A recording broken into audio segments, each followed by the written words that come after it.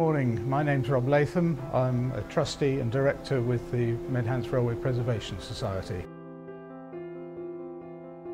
It's an interest now I've retired, at least I can follow an interest and uh, it means a lot to me to be able to join in the activities and meet people down here and make friends.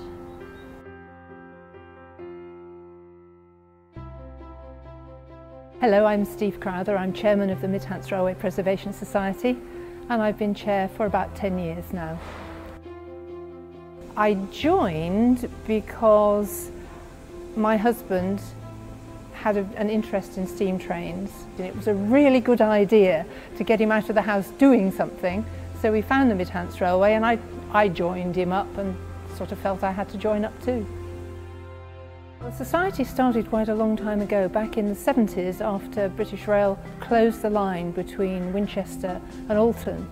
There were various hiccups along the way, but eventually enough people came together to form a society to contribute to setting up the Mid Hants Railway and the Preservation Society was formed really to raise the money to uh, get the railway going again. We are now in the boiler shop at Ropley, uh, where the overhaul of our flagship locomotive 3005 Canadian Pacific is being undertaken. Um, the money for that is partly from the Heritage Lottery Fund and partly from what our members and volunteers can raise.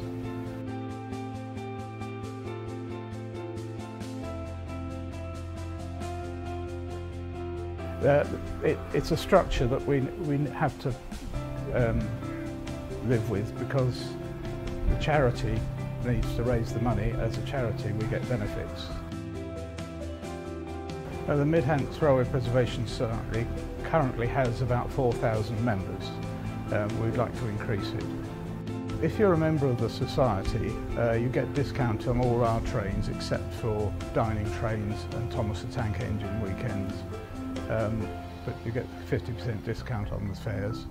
Uh, we also produce an award-winning colour magazine three times a year. And you can join one of our regional groups. We have eight regional groups around the south of England.